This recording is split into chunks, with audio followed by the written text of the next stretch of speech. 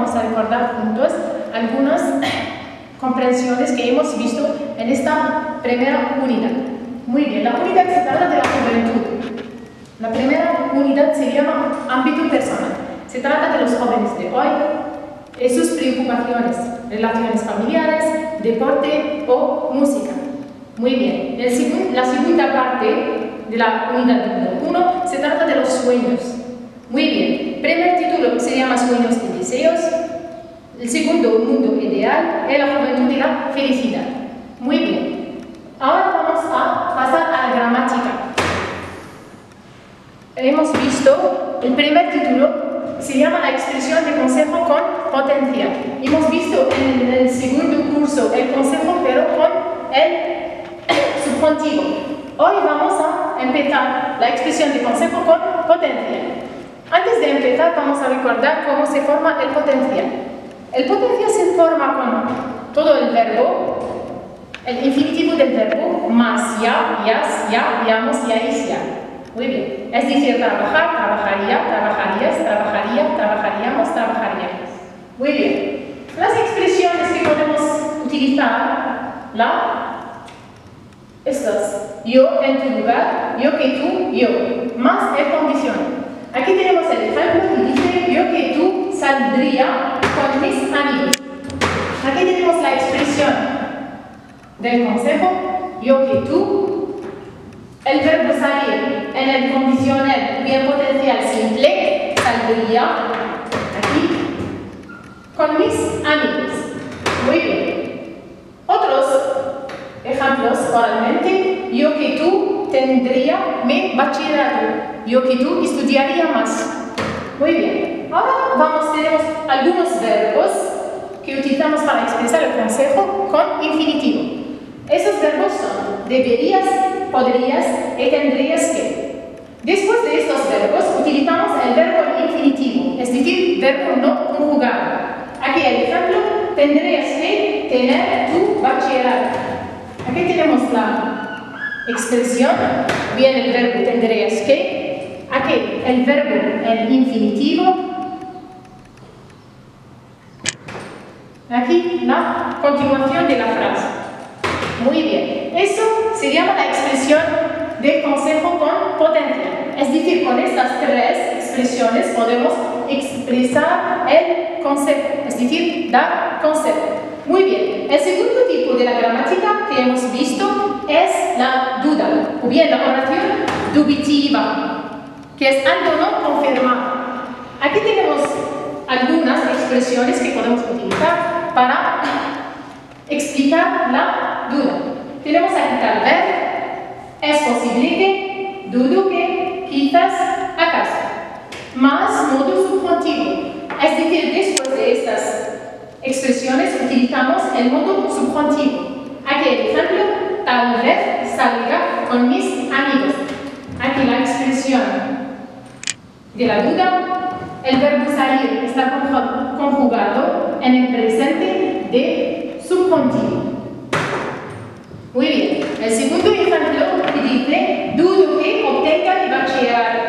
Dudo que es la expresión de la duda obtenga es el verbo obtener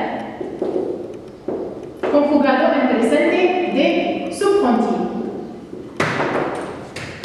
Muy bien, ahora pasaremos al segundo tipo de nuestra gramática del ámbito personal que se llama expresión de sentimientos. Aquí como expresamos nuestros sentimientos utilizando algunas expresiones. Unas expresiones que expresa el sentimiento tenemos me encanta, me gusta, me entristece y me fastidia. Tenemos tres posibilidades.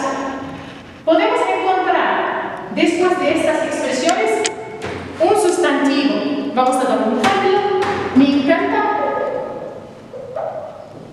me encanta la música.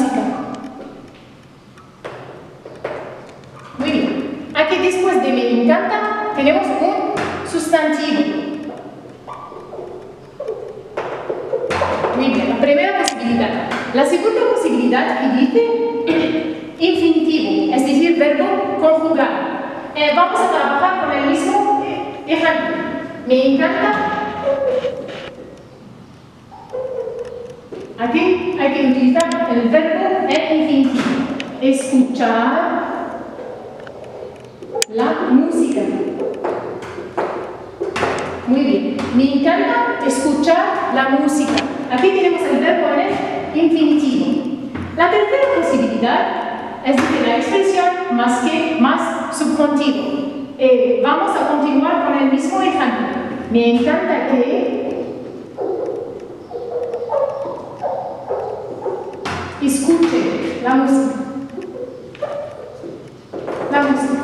Muy bien. Aquí el verbo está conjugado en el presente de subjuntivo. Muy bien. Es decir, en resumen, para explicar un sentimiento hay que utilizar una de estas expresiones, eh, una de estas posibilidades. Vamos a dar un otro ejemplo oralmente. Me gusta, me gusta el deporte. Aquí tenemos la expresión más sustantiva. Vamos a trabajar con el infinitivo. Me gusta practicar el deporte. La tercera, me gusta practique el deporte. Muy bien. Normalmente todo está claro. Ahora seguimos con las perifrases verbales. Las perifrases verbales. Tenemos el primer perifrase que se llama, o bien, acabar más infinitivo, que expresa una acción realizada ahora mismo. Vamos a dar un ejemplo acabo de terminar la lección. Acabo de terminar la lección. Es decir, acción realizada ahora mismo. Muy bien. La segunda perifrase, deber más infinitivo, que expresa una obligación motivada. Es decir, debo trabajar más. Aquí una obligación motivada. Deber de más infinitivo expresa la probabilidad. Vamos a dar un ejemplo. No tengo reloj, pero debe de ser las dos. Aquí la probabilidad. Muy bien. Dejar de más infinitivo expresa el fin de la acción. Muy bien. Vamos a dar un ejemplo. He dejado de ir al instituto. Muy bien. Aquí expresamos juntos una fin de la acción. Muy bien. Pasaremos a, la, a ver qué más infinitivo que hemos visto en el segundo curso. La necesidad expresa una necesidad Decimos, hay que trabajar más, hay que estudiar más. Muy bien. Ir a más infinitivo, lo mismo que hemos visto en el segundo curso, que expresa la acción futura. Es decir, realizada en el futuro mojado. Vamos a dar un ejemplo. Voy a trabajar más. Voy a viajar a España. Y hemos dicho, después de estas frases, el verbo va a ser en el infinitivo. Muy bien. Ahora pasaremos a tener que más infinitivo expresa una obligación de hacer algo. Tengo que estudiar más. Es algo obligatorio. Muy bien. Volver a más infinitivo expresa la repetición. Vamos a dar un ejemplo.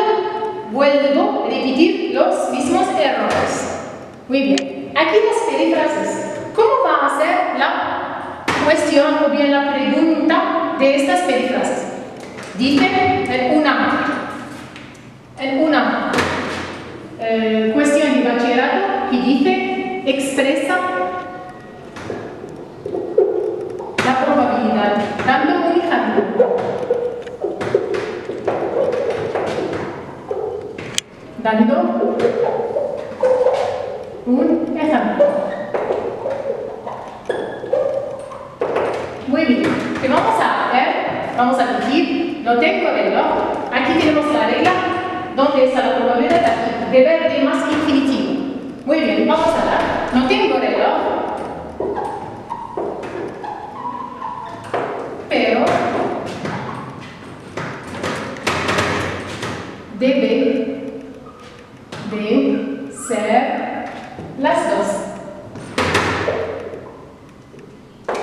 Muy bien.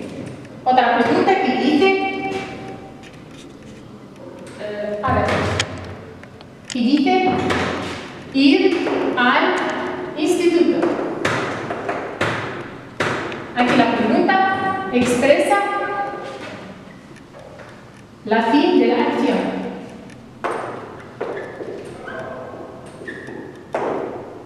Vamos a decir, he dejado de ir al instituto.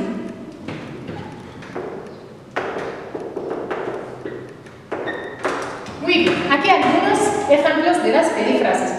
Eh, en este título es, son muy interesantes. Muy bien, todo está claro. Ahora pasaremos al, eh, al título número 5, que se llama el uso de ser estar. Hemos visto en el segundo curso cuando utilizamos el verbo ser y cuando utilizamos el verbo estar. Muy bien, vamos a empezar con el verbo ser. Uno, identificación. Decimos la identidad. Un ejemplo, soy Juan. Es decir, utilizamos el verbo ser para identificar a sí mismo. Es decir, vamos a dar nuestra identificación. Soy Juan, soy Laura, soy profesor. Muy bien. Segundo tipo, indica la nacionalidad bien el origen. Vamos a dar un ejemplo. Soy argelino. La nacionalidad. O bien, soy de Argelia. Aquí el origen. Muy bien. Informe sobre el material. Es decir, la mesa, por ejemplo, es de madera. Muy bien. La descripción. Decimos Juan es alto. La descripción física. Muy bien. La localización en el tiempo. Es el verano.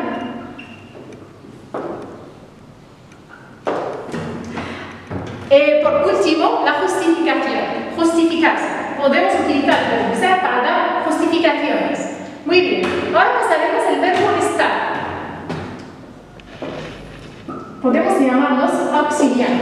Muy bien. El primer, la primera utilización del verbo estar es la localización en el espacio. Ahora pasaremos al uso del verbo estar. Eh, decimos que eh, le llamamos un auxiliar. Muy bien. El primero es la localización en el espacio, es decir, localizar un lugar. Vamos a dar un ejemplo. Eh, el liceo está enfrente del mar. Aquí la situación. Muy bien. Aquí vamos a localizar o bien situar. Expresa estado físico de una persona decir, estoy alegre. O bien, estoy triste. El estado físico. Expresa lo que hace una persona en el momento que habla. Vamos a dar un ejemplo. Estoy explicando la lección. Aquí expresamos una acción en el momento que hablamos. Muy bien. Aquí la diferencia, o bien hay que hacer diferencia cuando utilizamos el verbo ser y cuando utilizamos el verbo estar. Perfecto. Ahora pasaremos a los signos de puntuación. Los signos de puntuación tenemos la coma. Muy bien. Indica una pausa que se hace el hablante. La coma indica la pausa. Muy bien. El punto y la coma indican una pausa pequeña. El punto marca el final de una oración. El punto marca el final de una oración. Los dos puntos sirven para introducir una enunciación. Los puntos suspensivos señalan que el hablante se interrumpe. Las comillas se usan para quitar algo literalmente o para escribir el título de una obra. Es algo literario. Muy bien, el guion sirve para empezar las frases. Muy bien, normalmente todo está claro. Vamos ahora a pasar a los ejercicios prácticos. Aquí el ejercicio práctico que dice, escribe la forma correcta del verbo. Muy bien, me indigna que los alumnos no estudiaran. Aquí tenemos como índice un, una expresión de sentimiento que se llama me indigna. Después de esta expresión tenemos el IT. La regla que dice una expresión de sentimiento más que utilizamos el subjuntivo, el modo subjuntivo. Es decir, el verbo va a ser bien, estudié. El verbo estudiar conjugado en presente de subjuntivo. Tal vez es la expresión, la expresión de la duda. Muy bien. Los profesores hacen huelga hoy. Hemos dicho que después de, eh, bien para expresar la duda, utilizamos el verbo en subjuntivo. Aquí es decir, hagan. El verbo hacer está conjugado en el presente de subjuntivo. Hagan. Yo y tú trabajar más. Yo y tú es una expresión de consejo. Y la regla dice, después de una expresión de consejo, vamos a utilizar el potencial simple o bien se llama el condicional simple o bien Es decir, el verbo conjugado en esta forma, trabajaría. Muy bien. Me entristece cambiar la residencia. Me entristece es una expresión de sentimiento Hemos dicho después de, una, de la expresión de sentimiento, tenemos tres posibilidades. Sustantivo, o bien infinitivo, o bien que más subjuntivo. Aquí no tenemos el que. Vamos a suprimir esta probabilidad. Es decir, nos queda el infinitivo bien el sustantivo. Y para utilizar el sustantivo es no, no podemos utilizar el sustantivo porque es un verbo. Es decir, vamos a dejar el verbo el infinitivo va a ser cambiar. No vamos a hacer nada el verbo. Muy bien. La última frase que dice Dudu que terminar los estudios mañana. Dudu que es una expresión de duda, de la duda. Y hemos, hemos dicho que después de la expresión de la duda vamos a utilizar el modo subjuntivo, es decir, termine. Muy bien. Como todo está claro, vamos a eh, hablar sobre la expresión del deseo. Muy bien, tenemos tres expresiones que expresan el.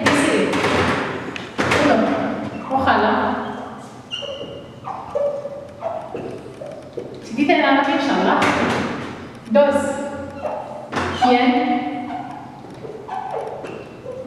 Tenemos el qué.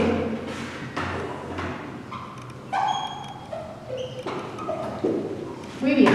Vamos a hablar de cada una expresión sola que expresa que aquí sirve. Ojalá podemos utilizar, tiene dos aspectos.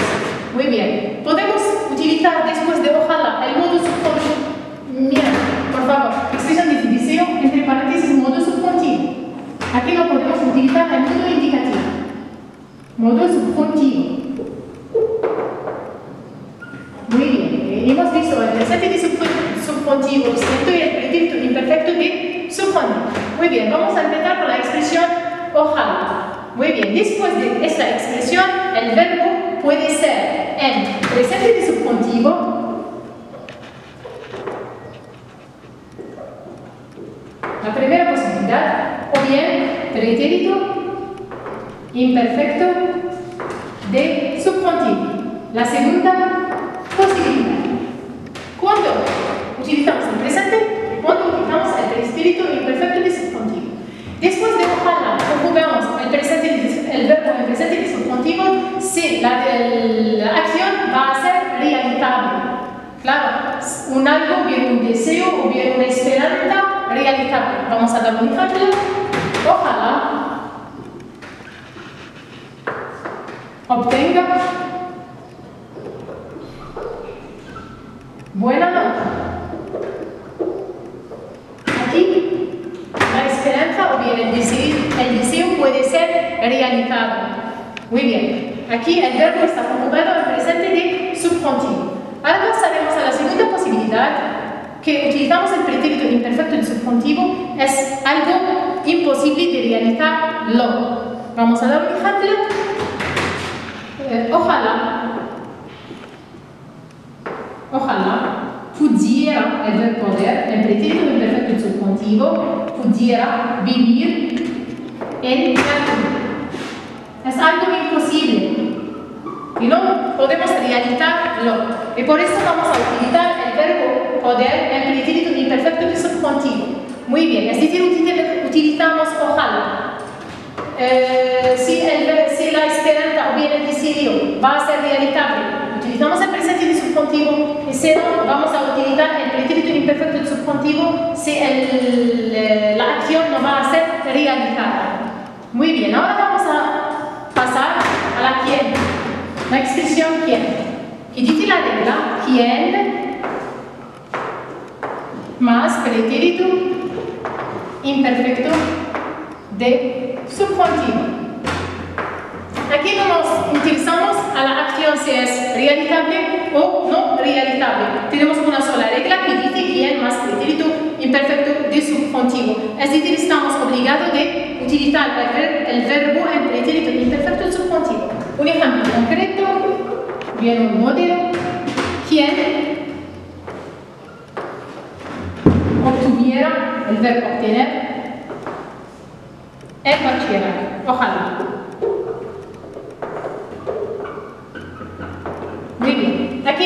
Una sola posibilidad, que es la conjugación del verbo en pretérito imperfecto de subjuntivo. Muy bien. Ahora pasaremos al que. Y dice la regla que después de la expresión del deseo, que utilizamos el verbo en presente de subjuntivo. Un ejemplo concreto que dice que viva Bien. Que viva bien. Muy bien. Es decir, para expresar el decir tenemos tres modelos, bien tres expresiones y cada una cómo se utilice aquí, aquí sirve. Muy bien. Ahora tenemos un ejercicio práctico para ver vuestro nivel. Muy bien. Y dice el ejercicio con los verbos siguientes, es decir, los verbos que están entre paréntesis. Tenemos la primera que dice ojalá hacer buen tiempo mañana. Ojalá, es decir, vamos a estudiar la acción si es realizada o no realizada. Puede ser realizada, es decir, aquí haga en presente de subjuntivo. Ojalá haga buen tiempo mañana. ¿Quién? ¿Quién tenemos una sola regla que quién más pretérito imperfecto subjuntivo? Es decir, vamos a decir con, con tierra. ¿Quién conociera el futuro? Hubiera conociese la segunda forma del pretérito imperfecto de subjuntivo. Aquí pasaremos al que que Ángel aprobar, que dice la regla que más presente de subjuntivo es decir, aprobe. Aprobe. Ojalá ser joven. Aquí tenemos la acción es realizada. Es imposible una acción imposible de realizar la. Es decir, vamos a utilizar el pretérito imperfecto de subjuntivo y va a ser fuera. Ojalá fuera joven. ¿Quién vivir 100 años? Aquí es algo no realizado. Y dije viviera. Ojalá viviera 100 años.